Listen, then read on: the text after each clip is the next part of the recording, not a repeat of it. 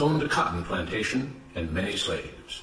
One day he was talking to the owner of the plantation next to his, and Mr. Jones was lamenting the fact that times were tough. He was having to work his slaves harder than ever, and was having trouble with some of them being disobedient or trying to run away. The other plantation owner said he knew someone who could help. Day 1. One day, Mr. Jones called his slaves together so a man named Mr. Smith could talk to them. Before beginning, Mr. Smith whispered to Mr. Jones, Whatever I say, do not contradict me or interfere, and I promise you your slave troubles will end. My name is Mr. Smith, he said to the slaves, and this may be the happiest day of your lives. From today forward, you will no longer be slaves, but free men. Mr. Jones was so shocked he started to step forward, but Mr. Smith gestured for him to remain silent. He did, only because the other plantation owner had spoken so highly of Mr. Smith's skills. You are no longer the property of Mr. Jones, Mr. Smith continued. You are free. No more will you be forced to labor for the benefit of Mr. Jones. Now you can work for yourselves. Now the slaves were all murmuring and looking at each other. Many were smiling, many were looking puzzled. In fact, you are now free to leave the plantation whenever you want, Mr. Smith said. However, since we are surrounded by other plantations, if you leave, some other plantation owner will likely claim you as his own the moment you set foot on his property. So I urge you not to risk your newfound freedom by doing something so foolish. Instead, I suggest that you stay here, no longer as slaves, but as willing participants and part owners of this plantation. Yes, this is now your plantation. Mr. Jones bit his tongue to keep from objecting. For now, we might as well leave Mr. Jones in charge, said Mr. Smith, since he's the only one with any experience at running a plantation, which is quite a complicated thing to manage. But he will no longer be your master, but just another worker on the plantation.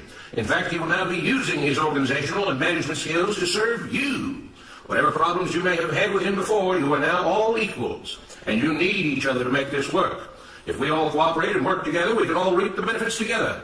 In honor of this happy occasion, I present you this new symbol of togetherness and cooperation, this flag, which shall be the emblem of the new free Jones plantation. He held up the new flag, but most of those listening were still too amazed to respond. And this shall be our motto, Mr. Smith announced. We work together as free men for our mutual benefit, pledging our allegiance to the Jones Plantation, which stands for prosperity, liberty, and justice for all. To celebrate, everyone has the rest of the day off. Enjoy your freedom, do as you please, and be back here tomorrow morning, bright and early, so that we may begin work on this great and noble new endeavor as equal free men. Finding Mr. Mr. Smith was serious, the former slaves applauded and cheered. Day 2. We all want this plantation to do well, Mr. Smith said at the beginning of the next meeting, so we can all share in the benefits. We all know that it takes a lot of effort to make a cotton plantation work. Just because you're all free doesn't mean you can stop working. In fact, since you're now working for yourselves, I expect you to work even harder than ever before, but now with pride and joy, knowing that you're working for yourselves. Of course, there still have to be rules. If everyone just does whatever he wants, the plantation won't produce anything. This experiment will fail and we'll all starve. You should be thankful that Mr. Jones has agreed to stay on to lend his knowledge and skills to this endeavor, and I trust you will all do your own part to make this work. Several of you have been chosen to act as project supervisors to manage different aspects of the operation, to make sure everyone is doing his assigned job, to make sure that the rules are followed, and so on. The rest of you may head out in the fields to start your first day of work as free men. Day 3. The next morning, Mr. Smith had a grim expression on his face as the daily meeting began.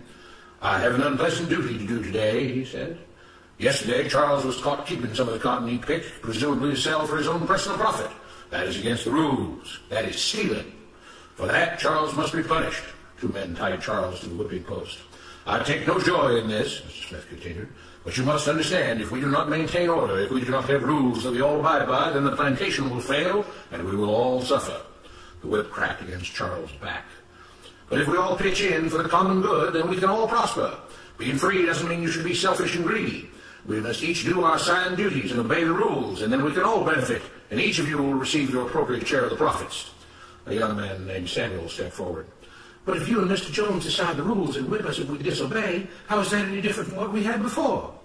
How can you say that? Mr. Smith asked. I'm shocked. You were a slave before, and now you're free. Things still need to be managed and organized by those best qualified to do so. Do you know how to run a plantation, Samuel? Well, no, he answered.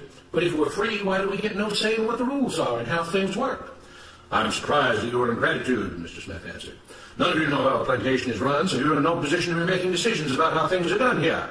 You don't seem to appreciate all the things that Mr. Jones provides for you, from protecting you from all the outside threats you know nothing about, those who would come here, capture and enslave you, if not for Mr. Jones' protection, to making sure that you all have food and housing, tools to work with, you're cared for when sick and injured, and so on. There wouldn't be a plantation at all, no cotton to pick, no land to plant and harvest if not for him. You should be grateful that he's made possible the level of comfort you now have. Your lives would be far worse if not for him.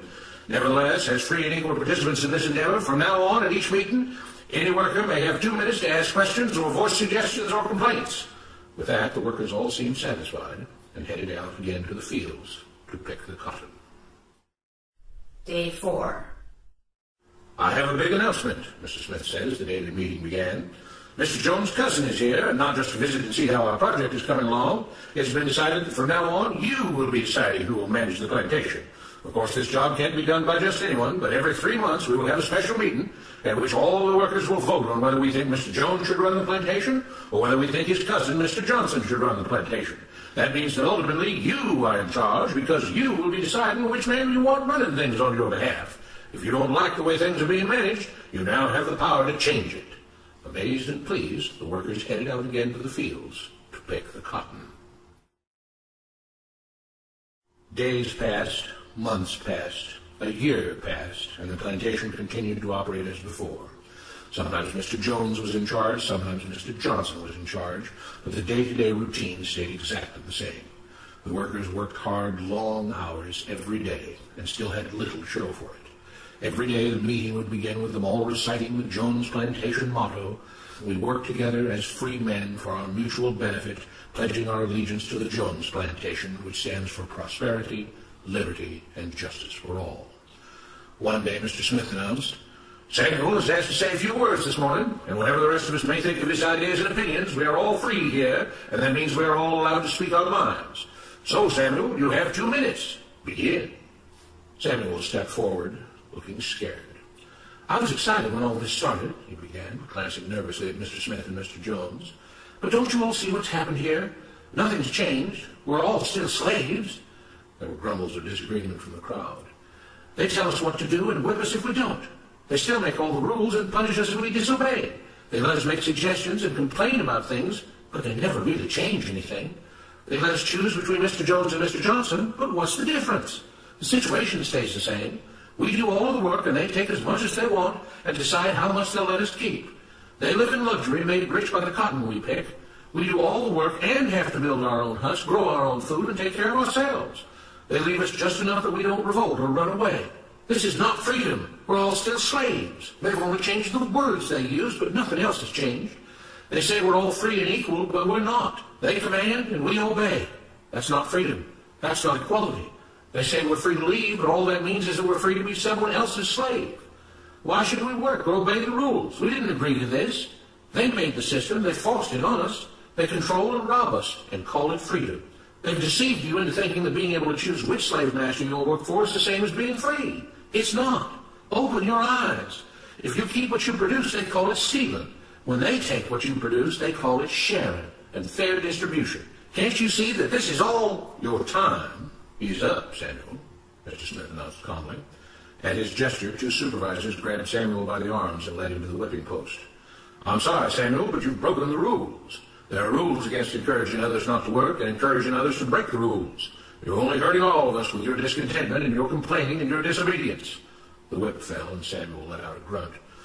Without rules, without order, all would be lost. Without law, there would be chaos. We can't just behave as wild animals, each doing whatever he pleases. We must all follow the plan and all do our duty for the betterment of everyone. And those who do not must be punished. The whip fell again and blood flowed freely from Samuel's back. Samuel, it is you who are stealing from the others. When you don't do your assigned work, you are making more work for others. When you disobey the rules, it is you who are endangering the future of everyone else here. You are the thief. You are the criminal. You are the one trying to destroy the arrangement that keeps us all safe and prosperous. At every lash of the whip, the other workers cheered louder and louder, some yelling curses at Samuel. Being spoiled and selfish, you complain about everything, talking as if you're oppressed. But you are the one ruining things. You are the one keeping us from being all we could be. Is your greed and your rebelliousness that is hurting all of us. They all play by the rules, Mr. Smith said, gesturing at the others. What makes you think that you don't have to? You think you're above the law? There were loud yells of agreement as the whip fell again. We must maintain order, Mr. Smith proclaimed, to make this plantation great, to make it so that we can all be happy and prosperous. To have the society we want, there have to be rules. We all have to contribute our fair share to this great endeavor, and we cannot tolerate actions and attitudes that seek to undermine the amazing things that together as free men we have achieved and will continue to achieve. Mr. Jones was smiling as he gave Mr. Smith a pat on the back. The crowd was cheering so loudly that none of them had noticed that Samuel had died.